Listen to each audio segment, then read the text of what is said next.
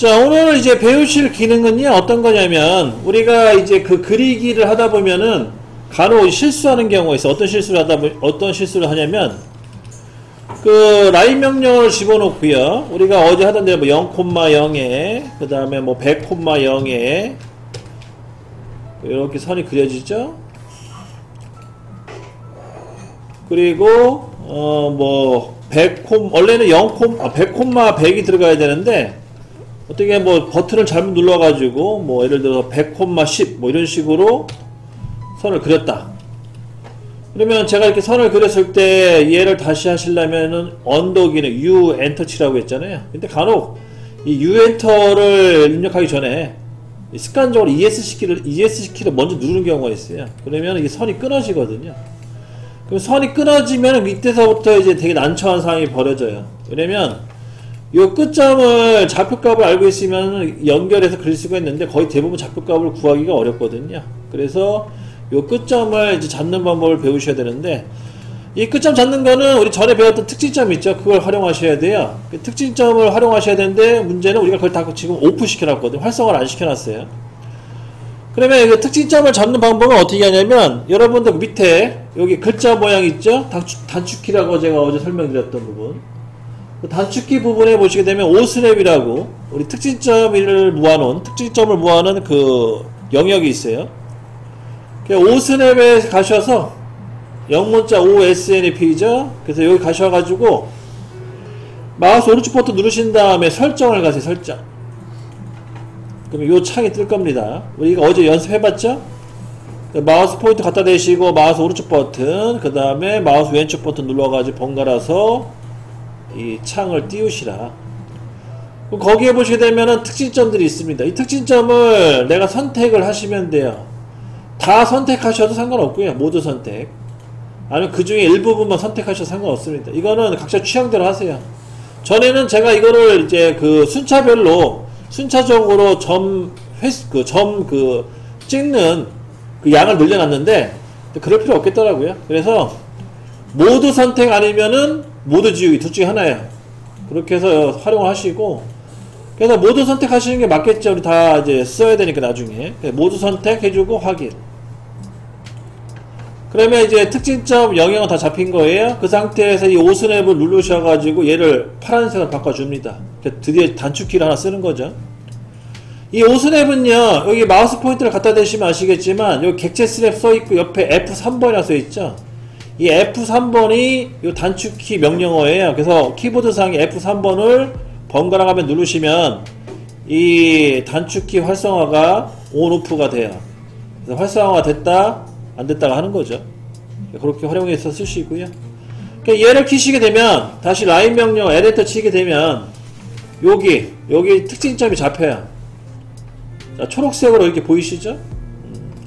그러니까 이런 특징점이라는 거는 이런 커서가 딱 뜨잖아요. 도형이 딱 표시가 나면 표시가 되면 그러면 이 끝점이 이제 자동으로 잡히는 거예요. 그래서 요 마우스 포인터 갖다 대가지고 이 끝점에 이런 도형 표시가 뜬다. 그러면 그 상태에 딱 클릭을 하시게 되면 정확하게 이 끝점이 잡힌 겁니다. 그런 식으로 해서 연결해 쓸 수가 있어요. 그래서 앞으로는 이제 하다가 도형을 막 그리시다가 중간에 실수로 끊기게 되면 당하지 마시고 이 오스랩에 있는 그런 특징점을 활용하셔가지고 이렇게 이어서 어, 그리시면 됩니다.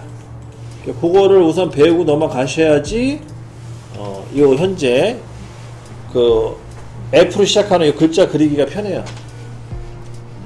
자 그러면은 이제 FIL이라 쓰여 있는 이 단어를 한번 그려보도록 하겠습니다. 우선 그 메모장을 이용해서 어제 했던 걸 복습하자면 제가 첫 번째 이제 여러분들이 도면 그리실 때 해야 될 게 뭐냐면 도면 분석하라고 했어요. 도면 분석. 도면 분석은 형상과 치수를 주로 확인하시면 된다고 했고요. 그 다음 두 번째는 원점을 찾으라고 했죠. 원점 찾기 하시고. 그 다음 원점을 찾았으면은 나는 절대를 그릴 건지 상대를 그릴 건지 이제 파악을 해 주셔야 돼요. 그러니까 그게 완료가 되시면 좌표값을 구하시면 되는데 좌표값 구하기 전에 우선 점의 개수 파악하셔야겠네요. 점의 개수 파악하시고 좌표값을 구해주시고 이렇게 순차적으로 진행을 합니다. 그 다음에 이제 CAD 명령어를 주입하시고 CAD 명령어 입력하시고 그 다음에 순차적으로 그려주시면 돼요. 이런 순서대로 가시면 되거든요. 그래서 초보자분들 같은 경우에는 감이 없기 때문에 이런 순서를 잘 기억해서 진행하시면 되겠고요. 어느 정도 이게 숙달이 되거나 숙련이 되면은 굳이 이렇게 할 필요는 없죠. 내 스타일대로 그리시면 됩니다. 자, 그럼 요게 맞춰서 진행을 하도록 할게요. 우선 이제 F를 보시게 되면요. F의 이제 원점. 원점을 위치를 이제 파악을 하셔야겠고요. 그 다음에 시계 방향으로 돌릴 건지 반시계 방향으로 돌릴 건지도 우선 정해 놓으시면 좋겠죠. 시계 방향으로 돌릴 거냐, 반시계 방향으로 돌릴 거냐. 우리는 연습을 주로 시계 방향으로 돌린다고 했어요. 그러면은 수직선 먼저 그려주시면 되겠고. 그러면은 이 수직선을 기준으로 해서 이제 좌표값을 한번 구해 볼게요. 우선 첫 번째 점 위치는 0,0이죠. 원점 위치니까. 그 다음에 시계 방향으로 올라가면 이제 위로 올라가야 돼요. 그 위로 올라가게 되면 0, 다 더해야겠네요. 다 더하면은 30이 되나요? 30. 12, 12 더하면 24고 거기다 6 더하면 30 맞죠? 이렇게 올라가 주시면 되겠고. 그 다음 이제 오른쪽으로 가셔야 돼요. 그죠? 오른쪽. 자, 아직까지 또 헤매시면 안 됩니다. 이거. 자. F라는 글자가 있잖아요. F. 그러면은 실제 원점 위치는 여기고 여기서 이제 여기 찍고 여기 온 거예요. 여기 갈 거죠? 아직은 입력 안 했죠? 어, 이렇게 이동을 할 겁니다. 그럼 저기 좌표는 어떻게 되냐? 30, 어, 얘도 마찬가지 30이 되겠네요. 30, 30으로 현재 이 위치 온 거고요. 그 다음에 밑으로 내려와야겠죠?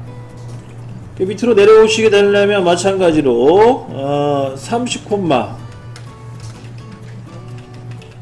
30 콤마 한 칸이 6이니까 24가 되겠네요. 24만큼 내려오시면 되겠고. 그 다음에 왼쪽으로 갑니다. 왼쪽은 30에서 12가 되겠네 12 18배니까. 12 콤마 24가 되겠고요. 여기가 오는 거죠. 그 다음 또 밑으로 내려옵니다 어, 12,6만큼 내려오니까 18 이렇게 되겠네요. 일로 온다는 뜻이고요. 그 다음에 오른쪽도 가야겠죠? 그럼 다시 x는 24가 되네요. 24,18이 되겠고요. 일로 오는 거고.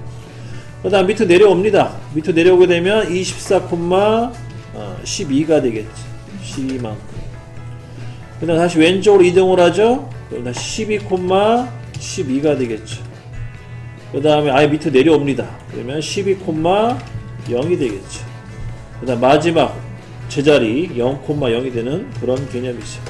이런 식으로 해서 좌표값을 구해주시고 그러면 이제 이걸 가지고 이제 그려야겠죠. 자 습관적으로 ESC 누르라고 했죠. ESC 두 번 눌러주시고 L 엔터 그 다음 0,0 그러면 원점 위치에 이렇게 점이 잡히죠. 그 상태에서 0,30 두 번째 수직선이 그려지고요. 그 다음에 30,30 수평선이 그려집니다. 그 다음에 30,24 수직선이 그려지고요. 그 다음에 12,24 수평선이 그려집니다.